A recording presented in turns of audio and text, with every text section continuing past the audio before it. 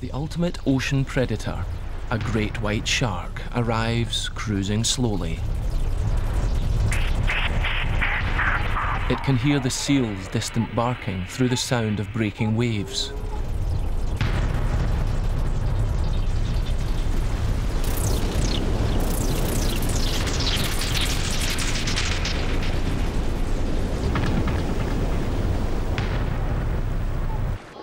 The seal's rich smells are also a giveaway transported by the current.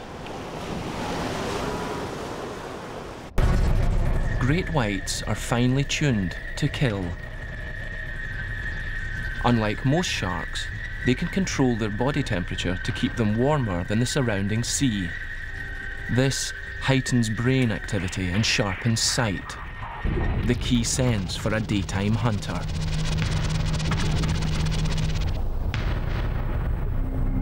Predator prowls the ocean, constantly looking upwards. From more than 20 metres down, they see surface objects as small as 15 centimetres across.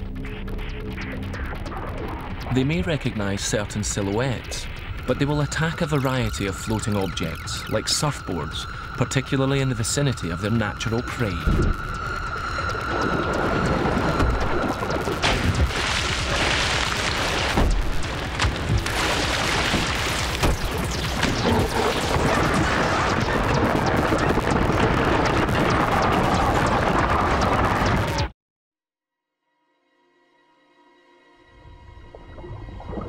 The great circle of sunlight shining down from the surface is a constant feature of the shark's life, which it uses to great effect.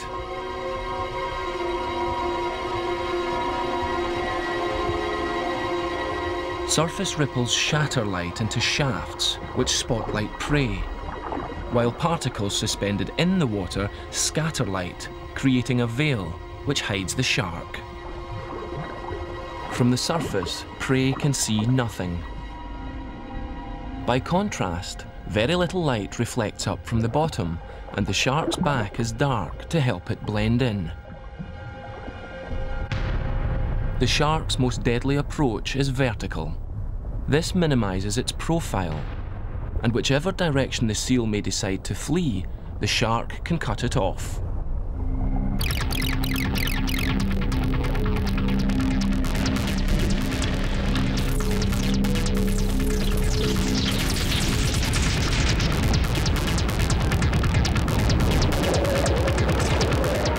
If the seal doesn't see the shark, it has little chance.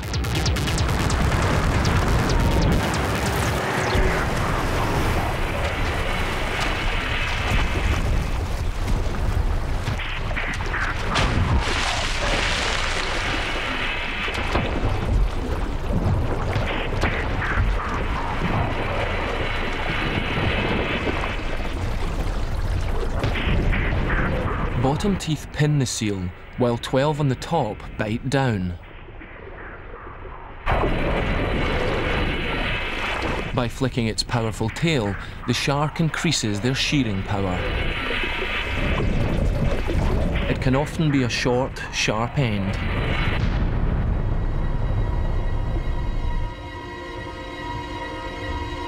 Once again, the ultimate predator takes a life to preserve its own. It may be a month before the shark needs to find and kill again.